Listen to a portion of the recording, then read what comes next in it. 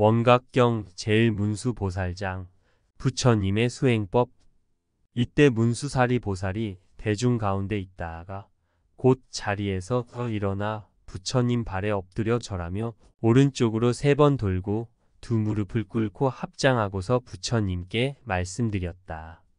대비하신 세존이시여 원하옵니다. 이 법회에 온 모든 대중을 위하여 열애께서 본래 일으키신 청정한 인지 법행을 말씀해 주소서. 그리고 보살들이 대승의 청정한 마음을 일으켜 모든 병을 멀리 여임을 설하시어 미래의 말세 중생으로서 대승을 구하는 이들로 하여 금 사견에 떨어지지 않게 해주소서. 이렇게 말씀드리고 오체를 땅에 대어 절하며 이같이 세 번 거듭 청하였다. 그때 세존께서 문수사리 보살에게 말씀하셨다. 선제선제로다. 선남자여, 그대가 능히 모든 보살들을 위하여 열애의 인지법행을 물으며 또 말세의 일체 중생들 가운데 대승을 구하는 이들을 위하여 바르게 주지함을 얻어서 사견에 떨어지지 않게 하니 그대는 이제 자세히 들으라. 마땅히 그대를 위하여 설하리라.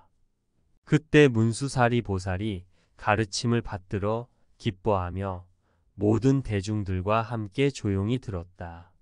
선남자여 위없는 법왕 이 대달한 이문이 있으니 원각이라 한다.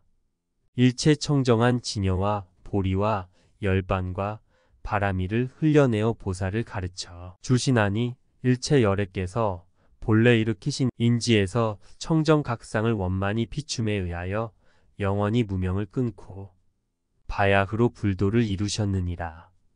어떤 것이 무명인가? 선남자여, 일체 중생이 비롯함이 없는 옛부터 갖가지로 뒤바뀐 것. 이 마치 어리석은 사람이 사방을 장소를 바꾼 것과 같아서 사대를 잘못 알아 자기의 몸이라 하며 육진의 그림자를 자기의 마음이라 한다.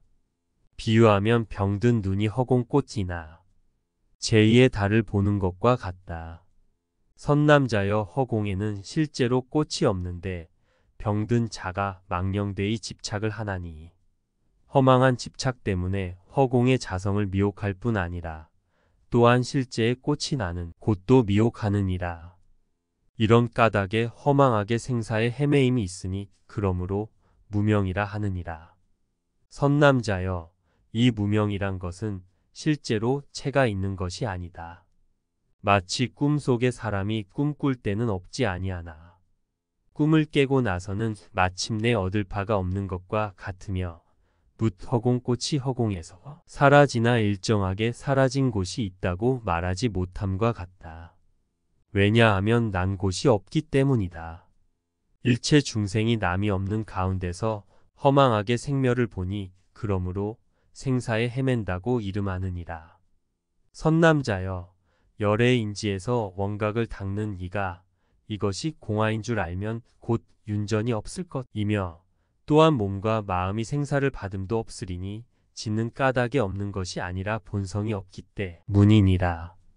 지각하는 것도 허공과 같으며 허공인 줄 아는 것도 곧 허공꽃의 모양이로되 또한 지각하는 성품이 없다고도 말할 수 없으니 있고 없음을 함께 보내면 이를 곧 정각에 수순한다고 이름하느니라.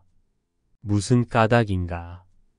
허공의 성품이기 때문이며 항상 요동하지 않기 때문이며 열애장 중에 일어나고 멸함이 없기 때문이며 지견이 없기 때문이며 법계 성품이 구경에 원만하여 시방에 두루한 것과 같기 때문이니 이것을 인지 법행이라 느니라.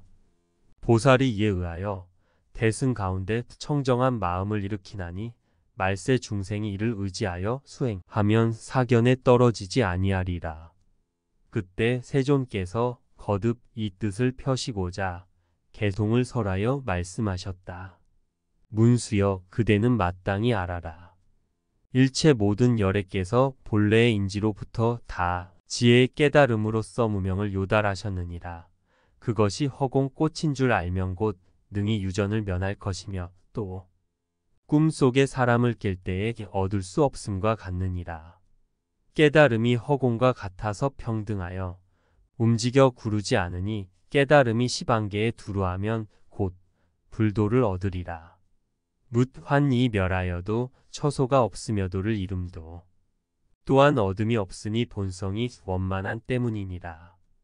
보살이 이 가운데서 능히 보리심을 일으키나니 말세 모든 중생들도 이를 닦으면 사견을 면하리라.